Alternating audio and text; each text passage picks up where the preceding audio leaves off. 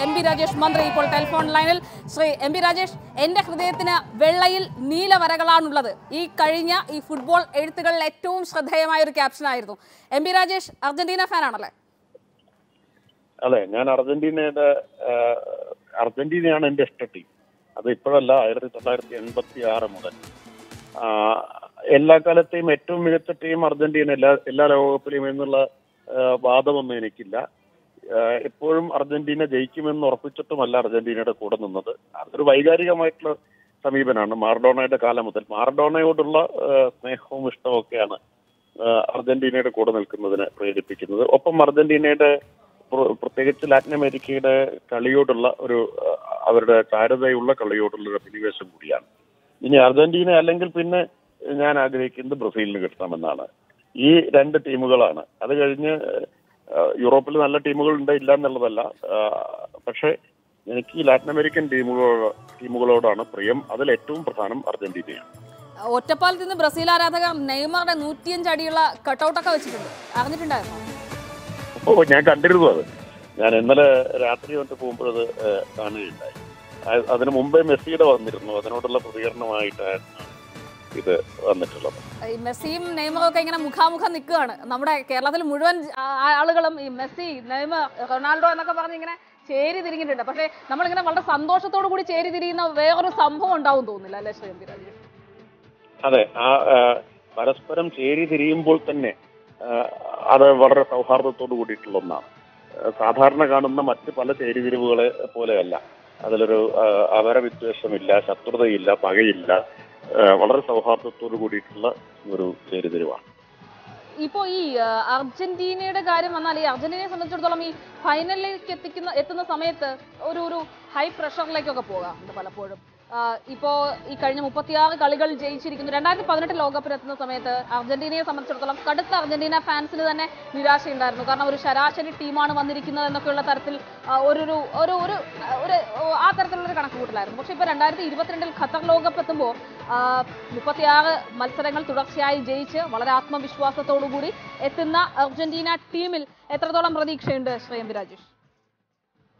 അപർണ പറഞ്ഞതുപോലെ കഴിഞ്ഞ ലോകകപ്പിൽ കളിച്ച അർജന്റീന ടീമല്ല അതുപോലെയല്ല അർജന്റീന ഇത്തവണ വരുന്നത്. അത് ആ വ്യത്യാസം വളരെ പ്രകടമാണ്. കഴിഞ്ഞ ലോകകപ്പിൽ ശരിയാണ്. എനിക്ക് അർജന്റീനയോടൊപ്പം നിൽക്കുമ്പോഴും എനിക്ക് ഏറെക്കുറെ ഉറപ്പുണ്ടായിരുന്നു അർജന്റീനയ്ക്ക് ഒരു ലോകകപ്പ് ജയിക്കാനെന്നുള്ള ശേഷി ആ ടീമിനില്ല എന്നുള്ളത്. എന്നാൽ ഇപ്പോഴങ്ങനെയല്ല. അതിനുശേഷമാണ് മെസ്സിയുടെ തന്നെ കരിയറിലെ ഏറ്റവും നിർണായകമായ ഒരു പക്ഷേ അർജന്റീനയ്ക്ക് വേണ്ടി നേടിയ ആദ്യത്തെ ട്രോഫി എന്ന് പറയുന്ന കോപ്പ അമേരിക്ക വിജയം ഉണ്ടായിട്ടുണ്ട്. അപ്പോ വിജയിക്കാനാവും വലിയ മത്സരങ്ങളുടെ സമ്മർദ്ദം നേരിടാം വിജയിക്കാൻ കഴിയും എന്ന് തെളിയിച്ചിട്ടുള്ള ഒരു അർജന്റീന ടീമാണ്. പക്ഷേ ലോകകപ്പ് എന്ന് പറഞ്ഞാൽ വേറെ വേറൊരു തലത്തിലാണ് അവിടെ കളി നടക്കുന്നത് എന്ന് നാം മനസ്സിലാക്കണം. അങ്ങേറ്റത്തെ പ്രൊഫഷണൽ മികവ് മാനസിക സമ്മർദ്ദങ്ങളെ നേരിടാനുള്ള കെൽപ്പ് കളി ഭംഗിയുള്ള കളി മാത്രം പോരാ. കളി ജയിക്കാൻ ഒരു ടൂർണമെന്റ് ജയിക്കാൻ ലോകകപ്പ് പോലൊരു ടൂർണമെന്റ് ജയിക്കാൻ. അപ്പൊ അതുകൊണ്ട് വളരെ അനായാസമാണ്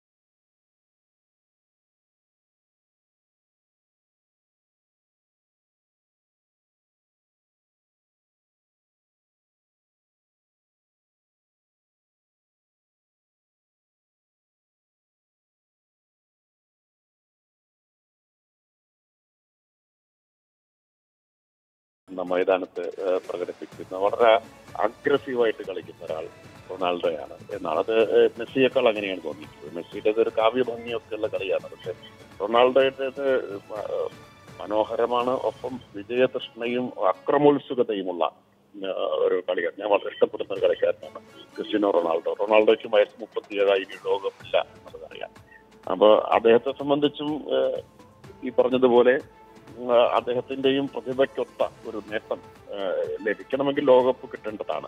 പക്ഷെ അദ്ദേഹത്തിനെയും പ്രധാനമായി അദ്ദേഹത്തെ ആശ്രയിക്കുന്ന ഒരു ടീമിന് അത്രത്തോളം പോകാൻ കഴിയുമെന്ന് എനിക്ക് തോന്നുന്നില്ല. ഈ നമുക്ക് ഈ ലാറ്റിൻ അമേരിക്കൻ ഫുട്ബോളിന്റെ ഒരു ഭംഗി എന്ന് വെച്ചാൽ ഭയങ്കര ഒഴുകുന്ന ഒരു വേവ് പോലെ ഒഴുകുന്ന ഭംഗിയാണ് ലാറ്റിൻ അമേരിക്കൻ ഫുട്ബോളിനെ കുറിച്ച് എപ്പോഴും നമ്മൾ ഓർക്കുക.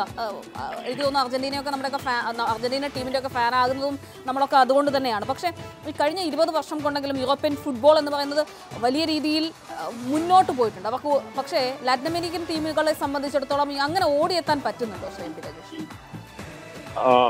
വിജയിക്കാൻ പറ്റുന്നില്ല എന്നുള്ളതാണ്. ലാറ്റിൻ അമേരിക്കക്കാരെ സംബന്ധിച്ചിടത്തോളം കളിയുടെ കളി അവരുടെ സംസ്കാരത്തിന്റെ ഭാഗമാണ്. കളി ഒരു സൗന്ദര്യമാണ്. നമ്മൾ കളിയുടെ ലാവണ്യത്തിനൊക്കെ വലിയ പ്രാധാന്യം കൊടുക്കില്ല പക്ഷെ ഇപ്പൊ എനിക്ക് തോന്നുന്നത് ഈ യൂറോപ്യൻ ഫുട്ബോളുമായിട്ടുള്ള സമ്പർക്കവും മത്സരവും എല്ലാം കാരണം അതായത് ഏറ്റുമുട്ടുന്നതിന്റെയൊക്കെ ഫലമായിട്ട് ലാറ്റിൻ അമേരിക്കൻ ഫുട്ബോളിന്റെ ശൈലിയിലും കുറെ മാറ്റം വന്നിട്ടുണ്ട്. എന്നാണ്. അപ്പൊ അർജന്റീനയുടെ പോലും കളിയുടെ കേളി ശൈലിയിൽ മാറ്റം വന്നിട്ടുണ്ട്. അതിന്റെയൊക്കെ സ്വാധീനമുണ്ട് എന്ന് തന്നെയാണ് എനിക്ക് തോന്നുന്നത്. ഇപ്പോ അതായത് ഇക്കുറി ഇതോടുകൂടി മെസ്സിയുടെ ലോകകപ്പ് അവസാനിക്കുന്ന ഒരു സാഹചര്യമാണല്ലോ അപ്പോൾ ഇക്കുറി അർജന്റീന ഫാൻസിന് അല്ലെങ്കിൽ അർജന്റീന ടീം മെസ്സിയോട് നീതി പുലർത്തണം ശ്രീ എം പി രാജേഷ് അല്ലേ? അർജന്റീന ടീം മെസ്സിയോടും മെസ്സി തന്നെ സ്വന്തം പ്രതിഭയോടും നീതി പുലർത്തണം എന്നാണ് എനിക്ക് പറയാനുള്ളത്. ടീം നീതി പുലർത്തുക എന്നോടൊപ്പം ശരിയാണ്. ടീമിന്റെ ഒത്തിണക്കമൊക്കെ പ്രധാനമാണ് ഫുട്ബോൾ പോലൊരു കളിയിൽ. ജയിക്കാൻ ഒരു താരത്തെ മാത്രം ആശ്രയിച്ചുകൊണ്ടാവില്ല. പക്ഷെ നമ്മൾ ഓർക്കണം എൺപത്തി അർജന്റീന എന്ന് പറഞ്ഞാൽ മാർഡോണ തന്നെയായിരുന്നു. അർജൻ എൺപത്തിയാറിൽ അർജന്റീനയെ മറ്റെല്ലാ ടീമുകളിൽ നിന്നും ആ ലോകകപ്പ് കളിച്ച മറ്റെല്ലാ ടീമുകളിൽ നിന്നും വ്യത്യസ്തമാക്കിയ ഒരൊറ്റ ഘടകം ഈഗോ മാർഡോണയായിരുന്നു. അതിൽ പാറ്റസ്റ്റൂട്ടെ പോലെയൊക്കെയുള്ള ധാരാളം പ്രതിപാദനരായിട്ടുള്ള കളിക്കാരൊക്കെ ഉണ്ടായിരുന്നെങ്കിലും മാറഡോണ ഇല്ലാത്ത അർജന്റീന മറ്റേത് ടീമുകളെ പോലെ ഒരു ടീം എന്നേ പറയാൻ പറ്റും. മറ്റെല്ലാ ടീമുകളെക്കാൾ അർജന്റീനയെ ഒരു ഒരു ചുവട് മുന്നിൽ നിർത്തിയത് ഈഗോ മാറഡോണയുടെ സാന്നിധ്യമാണ്. അപ്പോൾ അത് പ്രധാനമാണ്. ഇവിടെ മെസ്സിക്ക് ആ ഒരു തലത്തിലേക്ക് ഉയരാൻ കഴിയുമോ എന്നുള്ളതാണ് പ്രശ്നം. ബട്ട് ടീം മെസ്സിയോട് നീതി പുലർത്തണം. മെസ്സി തന്നെ സ്വന്തം പ്രതിഭയോട് നീതി പുലർത്തണം.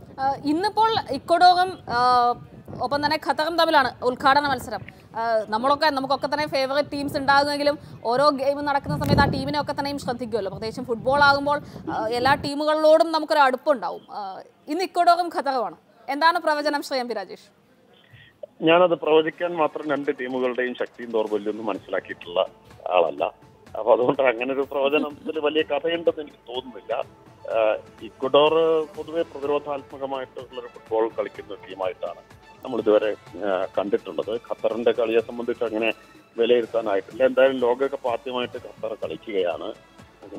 ഖത്തറിന് ആതിഥേയർ എന്ന നിലയിൽ അവർ കളിക്കുകയാണ്. ഖത്തർ ഗംഭീരമായിട്ട് ലോകകപ്പിന് ആതിഥേയത്വം വഹിക്കുന്നു. ആ നിലയിൽ ഖത്തർ വിജയിക്കണം എന്നാണ് എന്റെ ഒരു ആഗ്രഹം. ഈ കളി ഖത്തർ ജയിക്കുന്നത് ഒരു രീതിയാണ് എന്ന് ഞാൻ വിചാരിക്കുന്നു. ശരി. വളരെ നന്ദി മിനിസ്റ്റർ. ഇത്രയധികം സമയം സംസാരിച്ചത് ഒരു അർജന്റീന ഫാനാണ് എം ബി രാജേഷ്.